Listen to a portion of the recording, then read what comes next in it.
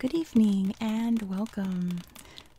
Tonight we're going to kick off something we're going to do for most of the rest of this month that I'm calling Autonomous Territory Friday, which I know is not a catchy name, but it is what it is. And this was not planned, it just kind of fell into place. For the next three Fridays, we're going to be looking at various autonomous regions within other countries. In this case, it's going to be an overseas territory, and it is Bermuda. So, I'm going to read you the introduction of this book so you get a good idea of what Bermuda is like. And then I'll show you all the pictures and we'll read all the little boxes. And we'll do the same for the next two territories coming up in the next few Fridays. Sound like a plan? Let's do it. Oh, and there will be other books about autonomous territories coming up later on throughout the year. It's just very strange how there's three Fridays in a row where I'm profiling different autonomous territories. So, that being said, let's get into Bermuda. Let's learn a lot more about this really interesting place. Bermuda today. A gently curving crescent of islands rises from the sea in the western Atlantic Ocean. From a distance, it appears like one formation, but it is really a collection of hundreds of coral islands, keys, and islets. This archipelago, or string of islands, is officially called the Bermuda Islands, though most people know it as Bermuda. Although Bermuda is often thought of as being part of the Caribbean, it is not. It is located far to the north of its Caribbean neighbors. In fact, Bermuda is the most northerly group of coral islands in the world and the only coral atoll in the Atlantic. Putting Bermuda on the map. Bermuda is located to the east of the United States and midway between Nova Scotia and the West Indies. It is almost 775 miles southeast of New York City and 1,030 miles northeast of Miami, Florida. Bermuda is part of the United Kingdom, even though it is located 3,445 miles away from London, England. The, the map I'm using here is a Caribbean map, but that's because the map of Bermuda is up there, but I couldn't get it in frame. So it is what it is. I promise Bermuda's on the page that I'm using. I'm not just using the Caribbean because I think it's in the Caribbean. It is not. Despite this distance, Bermuda is the oldest British territory in the world. Of the many islands and islets that make up its archipelago, 20 are inhabited by people today. But this was not the case more than 500 years ago when European explorers first sighted the islands. At that time, Bermuda was an uninhabited environment occupied mainly by birds and bursting with plant life. Spanish and Portuguese explorers may have discovered Bermuda first, but it was the English who made it a colony. Bermuda was settled almost by chance when a sinking English ship wrecked on Bermuda's surrounding reefs and its passengers sought refuge on the island. Admiral Sir George Somers, who led the passengers to safety in Bermuda, is still considered a national hero. For a long time, Bermuda was known primarily as the Somers Isles, and the town of St. George is named in Admiral Sir George Somers's honor. And there's a beautiful picture of the example of the very lush wildlife that George Somers and his passengers would have come across. The early colony. When colonists arrived, Bermuda was a densely forested subtropical ecosystem. Many of the plants and animals that live in Bermuda are unique among the other islands of the Atlantic. Unfortunately, colonial activities diminished the native plant and animal life over the years. However, today more than 350 bird species can still be spotted in Bermuda. Many are migratory and use Bermuda's environment as a feeding ground during their long journeys north and south. Bermuda's biodiversity also explodes off the coast. There, hundreds of species of coral, fish, marine mammals, sea turtles, and more share the waters surrounding the island. Bermuda's potential as a maritime base grew alongside its population. The original colony established profitable activities like shipbuilding, salt trading, and agriculture. Its economy grew through the labor of indentured servants and enslaved workers until slavery was abolished in the British territories. Through the years, Bermuda adapted to the social and economic changes made necessary by war, conflict, and expansion across the Atlantic. An island paradise. In the early 20th century, Bermuda realized that one of its greatest economic assets was its natural beauty. Gorgeous scenery, sunny skies, and mild temperatures meant that Bermuda had the makings of an island paradise. The country marketed this beauty, and soon travelers were arriving from around the world. Tourism was the main economic industry for most of the 1900s. At the end of the century, Bermuda seized a new opportunity in international business. This shift is responsible for the economic prosperity now enjoyed in Bermuda. Tourism and international business together have made Bermuda a high income country today. Bermuda is still a major tourist destination, especially for travelers from North America. Pink sand beaches and adventurous activities like snorkeling, scuba diving, and deep sea fishing are famous attractions. Bermuda is the perfect place for those looking for a taste of British culture outside of Great Britain. In addition, there are colorful festivals, delicious foods, and a population of people with diverse cultural and ethnic backgrounds. Bermuda has been a favorite spot for artists and writers inspired by the environment. Of course, Bermuda is not always a paradise. The country has a complex history steeped in everything from rum running and piracy to espionage and racial strife. Racial inequalities are rooted in the island's history of slavery and discrimination. Pressure for change reached a tipping point through organized protests, demonstrations, and riots in the second half of the 20th century. They ushered in major reforms in Bermuda's government and society, but the struggle for equity continues today. Some of the biggest hurdles facing modern day Bermuda have to do with global climate change and the pressures of a large population on a small stretch of land. Fortunately, Bermuda's government not only cares about its fragile environment, but it is also willing to spend money and time to protect it.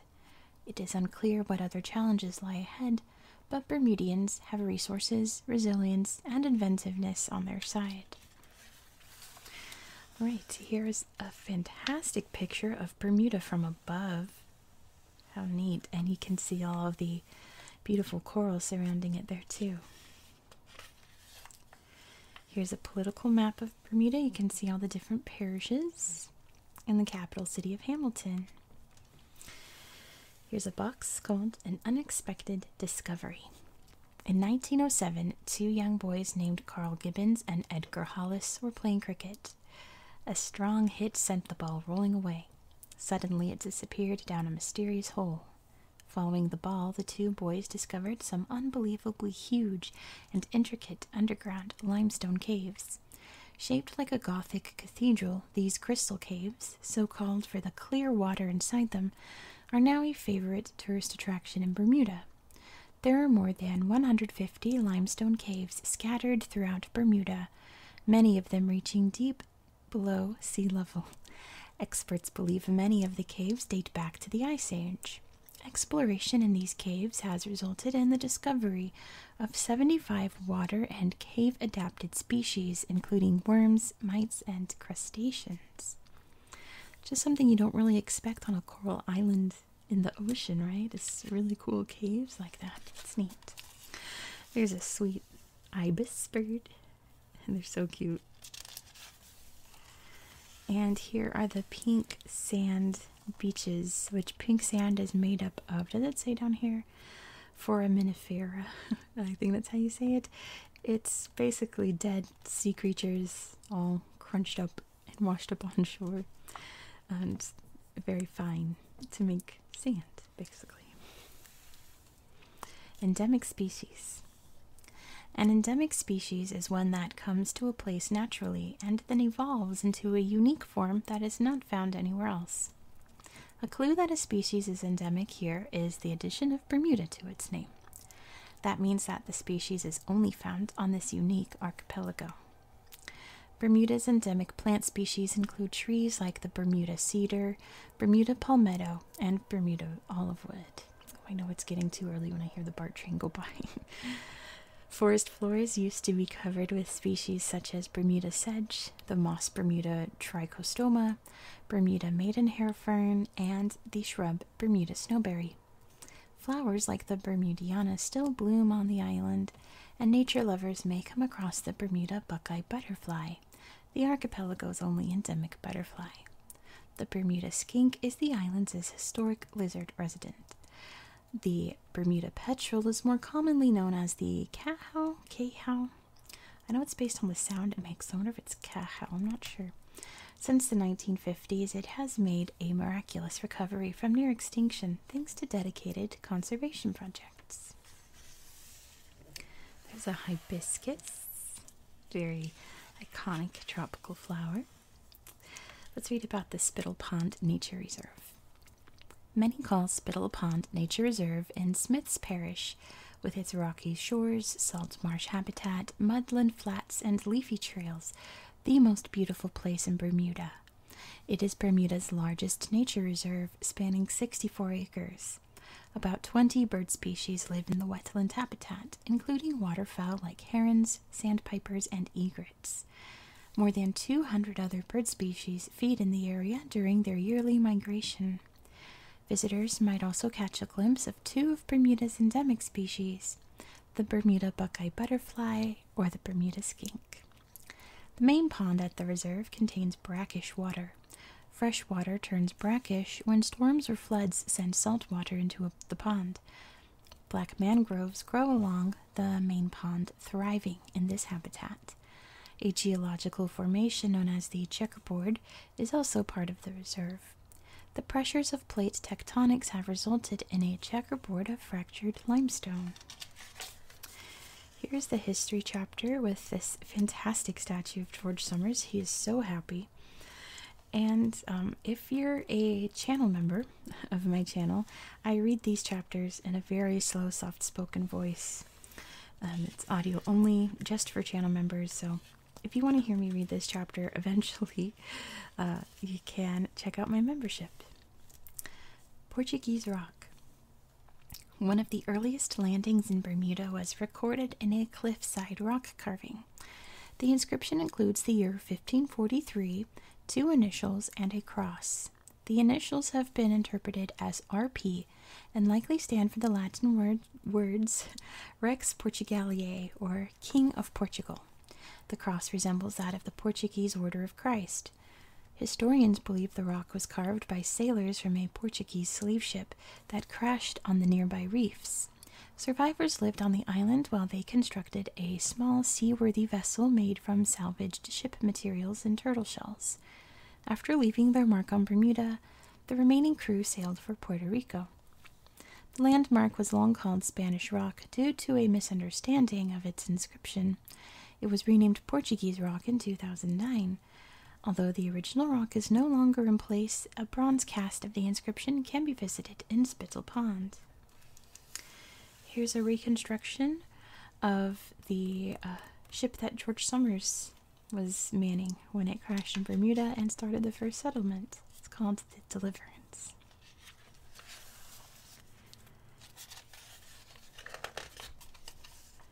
A letter from George Washington.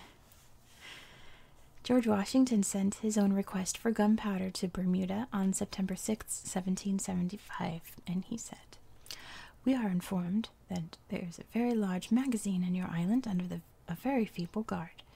We know not, therefore, to what extent to solicit your assistance in availing ourselves of this supply, but if your favor and friendship to North America and its liberties have not been misrepresented, I persuade myself you may, consistent with your own safety, promote and further this scheme so as to give it the fairest prospect of success. Be assured that in this case the whole power and execution of my influence will be made with the Honorable Continental Congress, that your island may not only be supplied with provisions, but experience every other mark of affection and friendship with the grateful citizens of a free country can bestow on its brethren and benefactors. Which is basically, can we have your gunpowder, please? I promise we'll, we'll treat you really nice once we're independent. The words of Mary Prince. Mary Prince published her autobiography, The History of Mary Prince, a West Indian Slave Narrative, in 1831. She was the first black woman to publish a book in Britain. In it, Prince wrote, Oh, the horrors of slavery! How the thought of it pains my heart. But the truth ought to be told of it, and what my eyes have seen, I think it is my duty to relate. For few people in England know what slavery is. I have been a slave. I have felt what a slave feels, and I know what a slave knows, and I would have all the good people in England to know it too, that they break our chains and set us free. Here is Fort St. Catherine, built by the, the British to protect the island.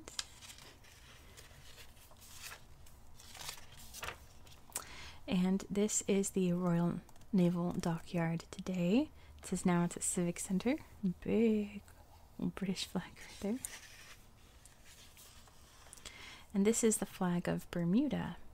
You can see their their emblem here and then the, the British flag. There's a zoomy zoomy. Bermudian citizenship. Bermudian citizenship is difficult to attain. Even children born in Bermuda are not officially Bermudian unless one parent is native to the country. No outsider can become a Bermudian, gain citizenship, vote, or buy real estate unless they marry a Bermudian and live with that person for more than 10 years. This is the only democratic country in the world with these rules. Since 2002, Bermudian citizens have been automatically granted full British citizenship by the British Overseas Territories Act. This means that native Bermudians can more easily study, work, and live in Britain. Naturalized Bermudians, or those who have gained citizenship through marriage, are eligible, but they have to apply for British citizenship. Here's the House of Assembly and Supreme Court building. It's called the Sessions House in Hamilton. On the basis of race and sex, Black men in Bermuda who owned property were able to vote and occupy elected offices at a time when all women, black or white, were barred from voting. Some black politicians, like Dr. Eustace McCann in the House of Assembly, worried that opening the vote to property owning women would only cement the harmful property requirements. However, McCann voted to pass the women's suffrage bill in 1944. He said, when one speaks about keeping the vote from women on the basis of sex, one must also think about keeping certain people from getting jobs because of the color of their skin. I shall vote for this measure today because I hate to see any group enslaved by the power of others and refused their legitimate rights. I call on all assemblymen to consider these matters that would grant to others the same privileges now proposed for the suffrage society. Before we read this, let's look at this picture. This is Hamilton, the capital city. It looks very quaint. The Old State House. Bermuda's oldest stone building sits on the town of St. George. It is the Old State House, and it was built in 1620 by Governor Nathaniel Butler in what was then the capital of Bermuda. Its limestone blocks are held together by a combination of turtle oil and lime.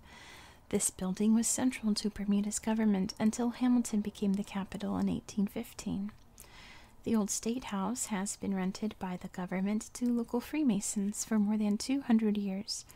Rent is set at one peppercorn each year and has not changed since the original agreement in 1816. In a fancy ceremony held at King Square in late April, the governor and town mayor, in full regalia, accept the peppercorn, which is presented on a silver plate that is on a velvet cushion. The parade and activities that accompany this payment cost thousands of dollars. Old traditions die hard, right? Here's Bermuda's currency. It's the Bermuda dollar, and it has lots of fishies and plants on it. It's very colorful. There's a bunch of shipping coming in there. Oh, we've got a box here about Bermuda sloops. Cedar sloops made the activities of early Bermudian fishermen, salt traders, privateers, and smugglers possible. This fast ship was typically constructed with a long and narrow body, one mast, and triangular sails. Native Bermudian red cedar gave strength, durability, and speed to sloops. Most were crafted and constructed by free and enslaved black Bermudians. Sloops carried Bermudians to the salt beds of the Turks Islands and then delivered that salt to ports in Newfoundland and New England. Their speed helped the Royal Navy chase down slave ships in the Caribbean in its quest to break up the Atlantic slave trade. Smugglers, pirates, and privateers also relied on the quickness of their sloops to help them acquire goods at sea. In the 1820s, shipbuilders in New England and Maryland adapted the Bermudian sloop model to make their own vessels. Bermuda's shipbuilding business declined soon after. A dwindling population of cedar trees was the final blow to Bermuda's once thriving sloop business. Onion mania. We'll see pictures of the onions later. Here's a picture of St. George. It's the largest city in Bermuda, and like it said in the other box, a formal cap former capital. Let's read about a landmark hotel. One hotel and tourist destination that has been involved in Bermuda's history for more than a century is the Hamilton Princess Hotel. Construction began in 1884 and the hotel opened its doors in January 1885. Now called the Hamilton Princess and Beach Club, the hotel offers luxury accommodations and access to Bermuda's famous pink sand beaches. Throughout its history, the hotel has hosted celebrities, politicians, and authors. Mark Twain was a familiar sight to early guests of the hotel. He was known to read aloud from his works and sign autographs during his visits. When World War II diminished tourism significantly, the hotel closed to visitors. For five years, it served as headquarters for the British intelligence operation in the Atlantic. The operation was supervised by Sir William Stephenson, better known by his code name Intrepid. As many as 1,200 people worked in this hotel during the war, searching for spy messages in the mail. The Hog on the Penny. Take a look at a Bermuda penny today, and you will see the image of a hog engraved on it. When English settlers came to Bermuda, hogs, first deposited on the island to multiply as a food source for shipwrecked or seafaring explorers, were some of the most numerous animals they saw. King James I granted Bermuda permission to mint the first colonial coins in 1615. They were made from copper and had an image of a hog on one side and a ship on the other. The coins became unpopular since they could not be used off of the island and they were rarely found after 1650. In 1970, Bermuda adopted its own new currency. The penny bears an image of a hog on one side as a nod to Bermuda's history. See how beautiful, beautiful coral. Lovely. Going green. If people are going to spend a vacation on Bermuda, they should bring their walking shoes. Only Bermudians are permitted to drive traditional cars in Bermuda, and they must follow a strict set of rules for car use. There are many other alternatives, of course. People can take a ride on city buses, jump on a ferry, or grab a local taxi. Many tourists choose to walk or bicycle. Bermudians call these pedal bikes from place to place. Travelers can also rent a scooter or a tiny two seat electric car called a Renault Twizy to get around the islands. Just remember, Bermudians drive on the left side of the road. A pretty bird over here, an eastern bluebird. Lovely. It's a box about the Bermuda cedar. The first humans to land on Bermuda came to a place of lush forests bursting with trees like the Bermuda cedar. As people settled on the islands, they introduced activities, pests, invasive plants, and diseases that diminished the forests. Early explorers released pigs to multiply into an abundant food source, but the pigs uprooted the forest floor in their quest for food. Rats from ships also disturbed the forest's natural cycle by eating seeds. Settlers cleared the forests to make room for agriculture or to supply timber for shipbuilding and construction. The Bermuda cedar suffered from all of these factors, but the introduction of a pest in the 1940s nearly wiped it out. Two kinds of virus spreading insects called oyster shell scale and cedar scale arrived in Bermuda. Between 1946 and 1951, 95% of Bermuda cedars died. It is estimated that cedar scale killed around 3 million trees. Is a beautiful long-tailed bird. And there's a sweet, sweet green turtle. Let's read about it. A welcome return. At one time, Bermuda's beaches offered safe havens for a variety of turtles to lay their eggs. However, when settlers realized that these creatures were edible, the turtles were almost completely exterminated. From 1968 to 1978, Bermudian environmentalists flew thousands of green turtle eggs to the area from Costa Rica and buried them on various beaches.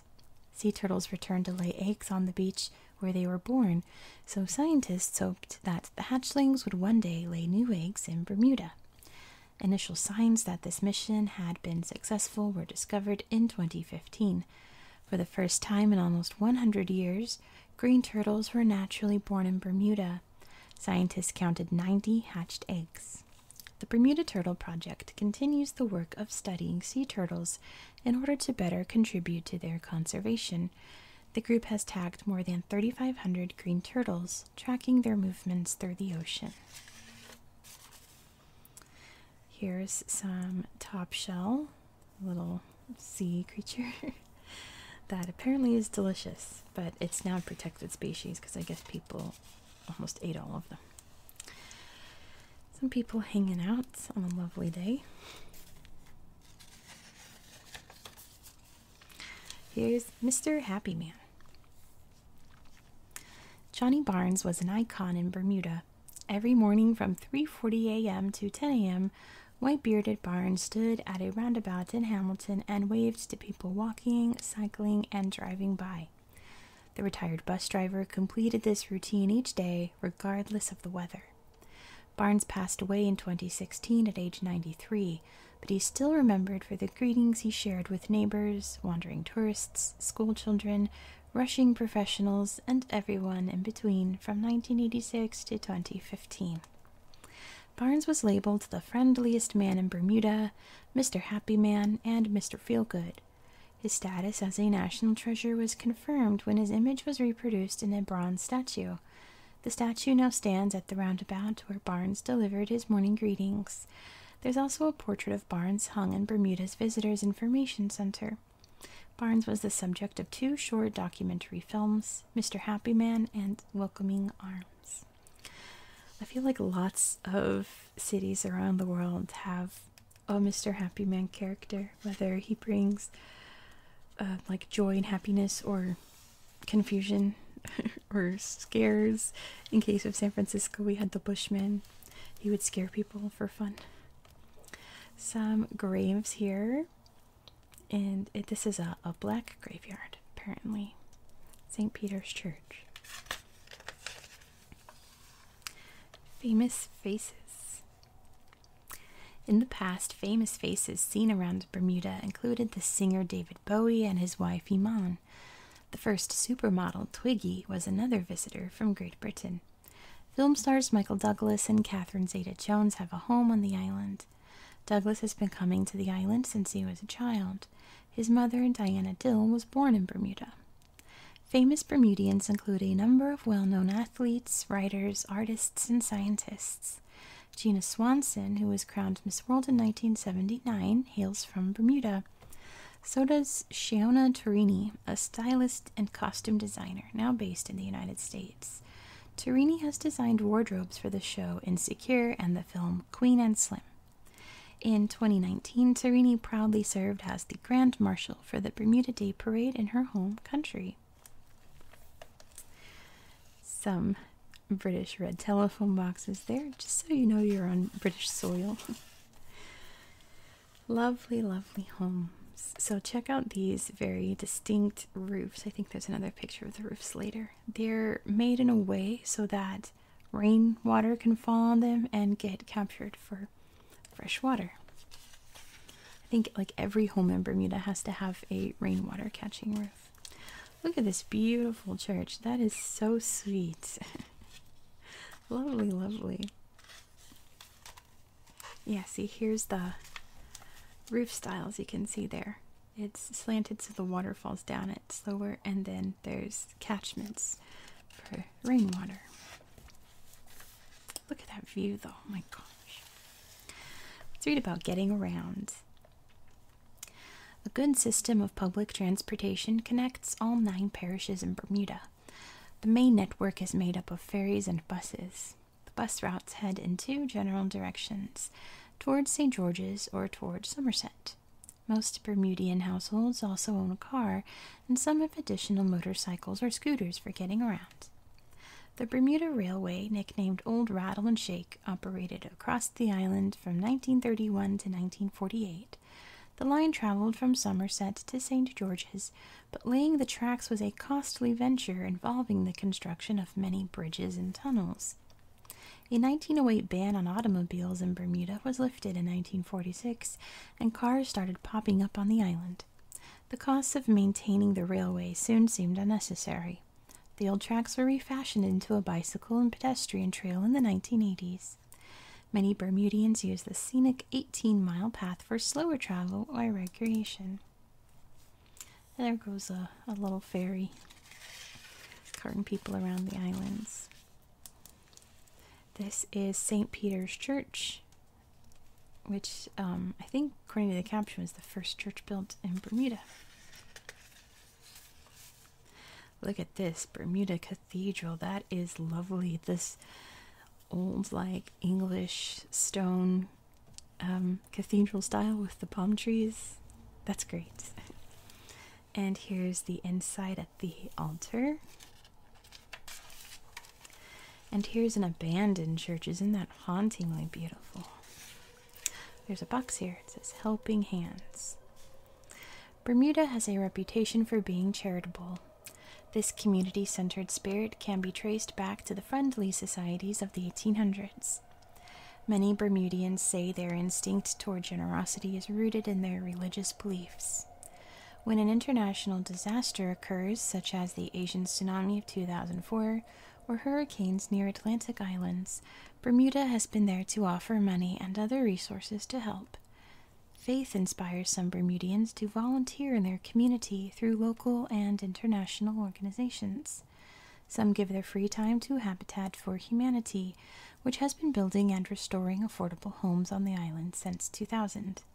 The Red Cross has operated in Bermuda since 1950 and relies on volunteers for blood donations and a task force of responders when a disaster strikes. Volunteers also assist with the Coalition for the Protection of Children, which is dedicated to making childhood in Bermuda safer and healthier. There's a little bookstore here. Follow them on Facebook.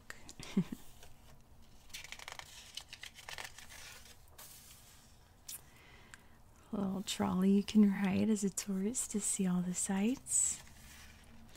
I'm not going to read the Bermudian expressions. Let's see a lovely day, enjoying the waterfront. Here's a stamp featuring the Bermuda Library, the 150th anniversary. The Masterworks Museum of Bermuda Art. It's a little British post box there next to it. These are called moon gates. And I think it talks about it right here. Couples who kiss under the moon gate, the wedding shaped uh, band, the wedding band shaped arches found throughout the island will, according to local legend, be assured a long and happy life together. Walk through one of our lovely limestone archways, make a wish, and look forward to a joyful and prosperous future. It's really sweet. Hmm, I'm gonna skip song lyrics too. Let's see, Collie Buddz, a reggae singer from Bermuda, big celebration here of Gombey dancers. Gombey being the culture that the slaves created as a mix of like that West African cultures all getting mushed together and creating a new one. So they're uh, celebrating a holiday with this very, very colorful costumes there. Here's Mark Twain, very iconic American writer. The Bermuda National Gallery is located on the second floor of the Hamilton City Hall. Isn't that neat? That's cool. Cedar crafts. Besides its use in shipbuilding and construction, cedar was an important material for carving and woodwork in Bermuda's past. Cabinet making was a profitable pursuit in the 17th and 18th centuries. Samuel and Henry Smith, two brothers, produced a variety of cabinets and carved furniture in their workshop with the help of enslaved workers named Noki and Augustus. Most of Bermuda's masterfully carved cabinets, woodwork, and furniture was produced by enslaved workers. Carpentry could also be a prosperous field for black Bermudians after emancipation. John Henry Jackson was a black carpenter who was born in Bermuda in 1822. A carved side table he crafted was displayed in the Great Exhibition at London's Crystal Palace in 1851. The exhibition celebrated art, science, and technology from around the globe, including Bermuda. The table is currently part of the collection of the Verdmont Historic House. And there's a picture here of the Verdmont Historic House. You can see all the wood used to build it. Gorgeous waterfall here going into this fantastic pool of water. Go for a big dip. It's like a regatta here. Some sailboats ready to race. Competing as a para athlete. Jessica Lewis began wheelchair racing when she was 13 years old in 2006. Since then, she has participated in many world competitions for her home country, Bermuda. Lewis excels as a sprinter and competes in the 100, 200, and 300 meter races. In 2012, she was the first Bermudian to ever compete in the Paralympic Games. She won a historic gold medal at the 2015 Parapan American Games in Toronto and returned to the Paralympics in 2016. After the Parapan American Games in 2019, Lewis won two gold medals and one silver medal in her events. Lewis has also collected a variety of awards in Bermuda, including Most Fascinating Person of 2015 and Female Athlete of the Year for 2019. Smith's goal in 2021 was to bring home a gold medal from the Tokyo Paralympics. I looked her up, I, I searched her Twitter. Uh, she actually won fourth in her big race at the Tokyo Paralympics, but that's still very good. Look at this shipwreck that's all covered in coral that you can dive in and explore like your Ariel and Flounder. National Heroes Days being celebrated here with big colorful costumes. Some hot cross buns. Hot cross buns, they look so delectable. Sand sculpture.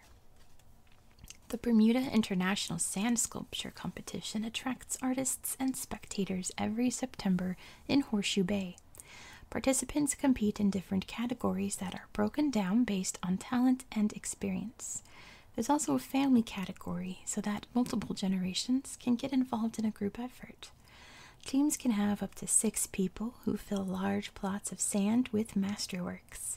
The sculptures are quite creative, and visitors can watch the artists crafting their sand art. Past entries have been themed around current events, works of fiction, sorry, plants and animals, island lore, or Bermuda itself. I have Tourette's, so it pops up every once in a while. Front Street in Hamilton, kind of like the main street. And oh my gosh, another Gombey dancer celebrating Boxing Day. We have to have another tick. Hold on. Sorry, I have Tourette's. Okay. Okay. Moving on. Very great. Food, there's their onions. Grow wild all over the islands. Um, cassava pie. I don't know how I feel about that, but over here, a fish chowder. That looks amazing. I'm a big seafood person. Special meals. Sunday breakfast or brunch is a favorite mealtime in Bermuda. The most traditional Sunday morning plate is filled with boiled salted codfish and boiled potatoes.